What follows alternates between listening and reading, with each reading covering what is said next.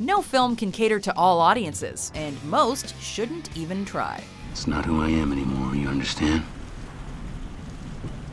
Interesting. Welcome to WatchMojo.com, and today we're counting down our picks for the top 10 PG 13 rated movies that should have been rated R.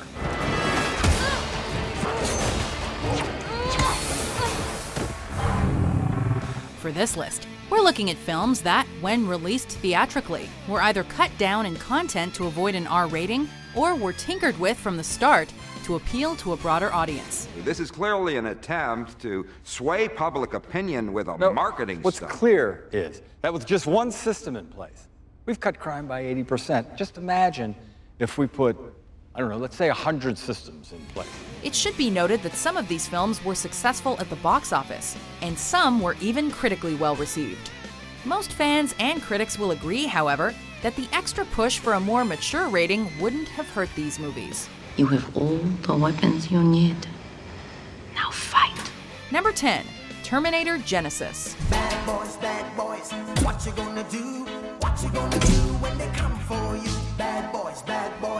You remember the Terminator films, right? You know, those unstoppable cyborg fight fests with harsh language and bloody action? Well, Hollywood felt that after years of R rated exclusiveness, it was time to branch out to a wider audience.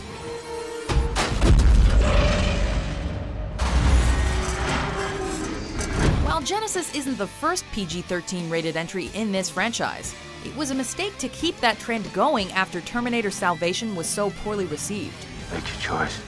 If you ask most fans, Genisys didn't need to exist in general. Nice to see you. Get out. Despite Arnold Schwarzenegger's praised return, treating the film with kid gloves didn't help its chances of being a new launch point for the once prideful Terminator series. I'm old. Not obsolete. Number 9 Insidious. Shine the light on Josh. I'm I'm Josh. You've got to call him back. We've got to call him back. Most horror movies in general should be created with an R rating in mind.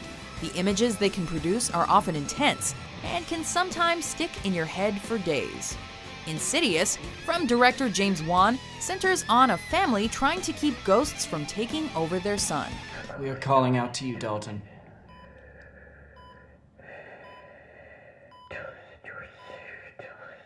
Tell us you're safe. Tell us where you are. Unsurprisingly, this storyline produces some of those aforementioned long lasting horror images.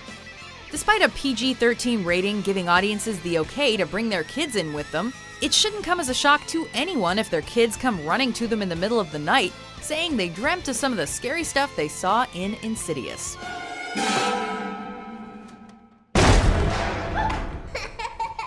Horror is a fun genre, but maybe it's not for all ages.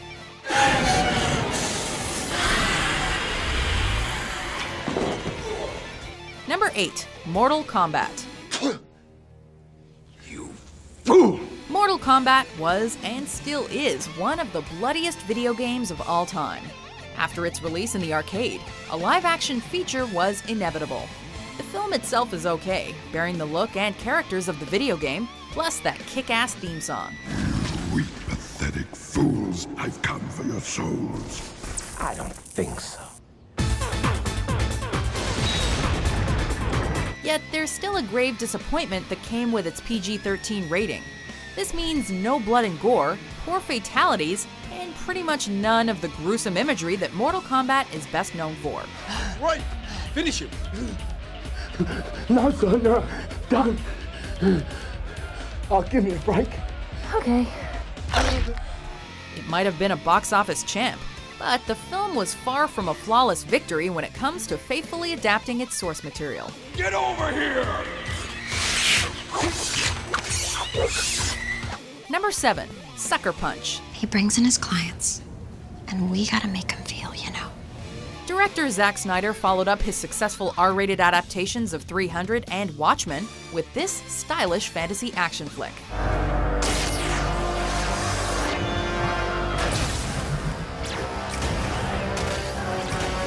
Following the exploits of Baby Doll, who seeks to escape an insane asylum slash brothel, the film boasts much of Snyder's visual flair and skill for darker storytelling.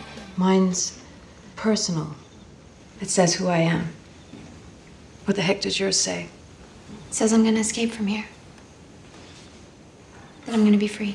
With subject matter that deals with lobotomy and the danger of rape at the hands of the insane head honchos of the facility, it's kinda strange that this movie wasn't rated R. Oh, is that it? Is that all you got? Snyder reportedly originally wanted it to be that way, but had to cut scenes for the censors. So, don't feel bad about killing them. They're already dead. Maybe he also did it to bring younger viewers, especially girls, into an action film led by powerful female leads. Whatever the reasons, the decision was a sucker punch to the film and led it to underperform at the box office. How about something a little more uh, commercial, for God's sakes? Number 6, The Expendables 3. Believe it or not, this wasn't the first attempt to make the Expendables franchise more open to all ages. The same tactic had been attempted with The Expendables 2. You will force me to cut his heart out. Do it, you piece of shit. This was quickly met with rage and boycott threats from fans. Watch closely. And again. Anybody else? The Expendables series is supposed to be filled with nods to the glory days of 80s action films. So you're really gonna go back? Yeah. Alone? Yeah. You an idiot. There should be a ton of blood, one liners, muscle bound strongmen, and a lot of explosions.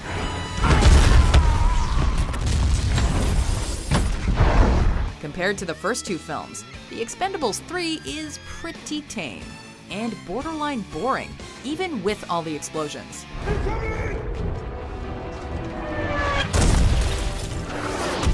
Hopefully, the lesson will be learned here for future installments of this action franchise, and we can get back to basics.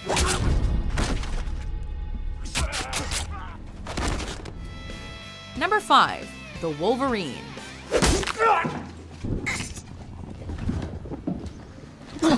Logan. Comic book readers know Wolverine as one of the deadliest, most badass characters ever created. While we got to glimpse some of his famous berserker rage in X2, moviegoers haven't been treated to a true show of his full abilities.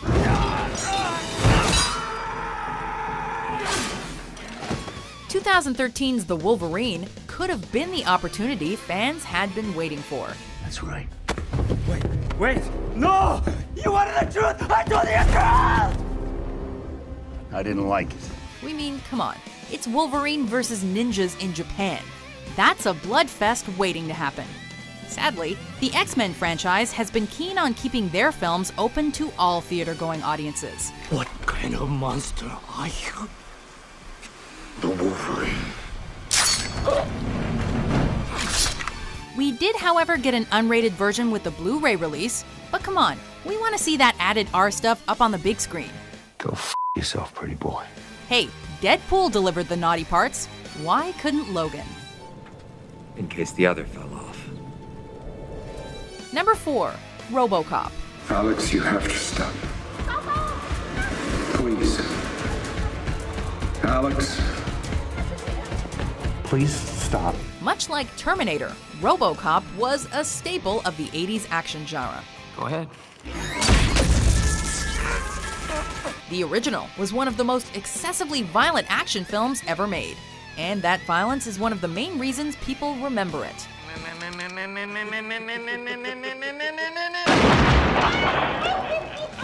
Rebooting the character for a new generation wasn't a terrible idea. I mean you no harm. If I wanted to, I could have killed you a long time ago. No, the terrible idea was eliminating most of the violence, especially with regards to how cop Alex Murphy becomes the titular cyborg. Whether or not this reboot is better than its PG 13 brother Robocop 3 is debatable. Stop them! Stop them! Still, this action film doesn't hold a candle to the very hard R entries that preceded it. In front of everyone. Compress!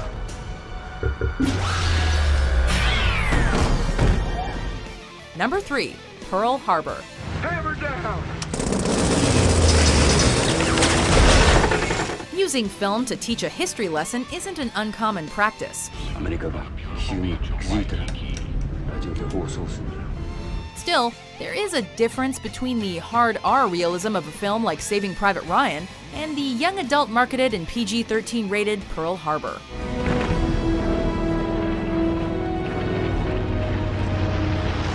Director Michael Bay's retelling of the December 1941 attack on the titular naval base had its moments of intensity, but focusing on a boring love triangle for younger audiences rather than going for an honest war tragedy felt like an insult to the historic event itself.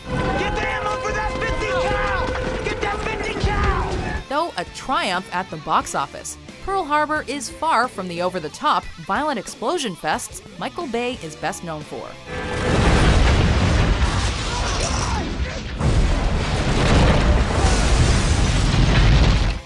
Number 2 Live Free or Die Hard. Jerk off! This one might be one of the most successful entries on this list, with some calling this movie the best Die Hard since the original. Come out to the coast, we get together, have a few laughs. Still, making a Die Hard movie PG 13 isn't without drawbacks. The blood and violence the franchise is partly known for is tremendously toned down compared to previous entries.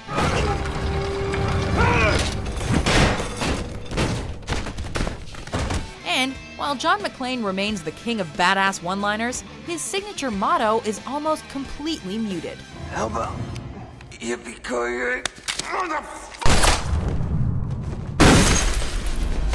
That alone is pretty unforgivable.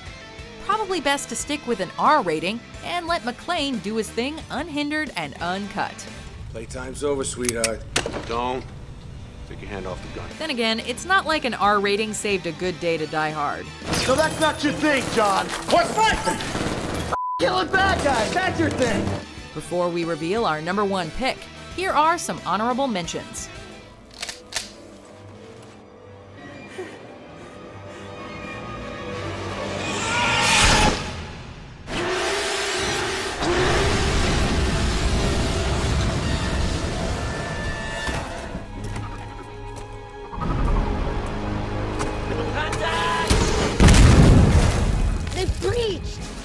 Got him. Picking up now.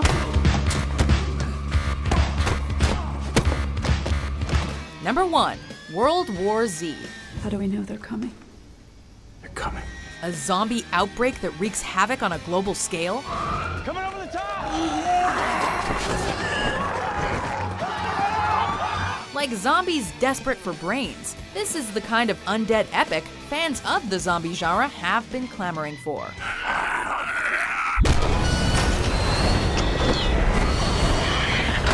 And while World War Z boasts great scope and superstar Brad Pitt, it loses some of its intensity with the dialed down rating.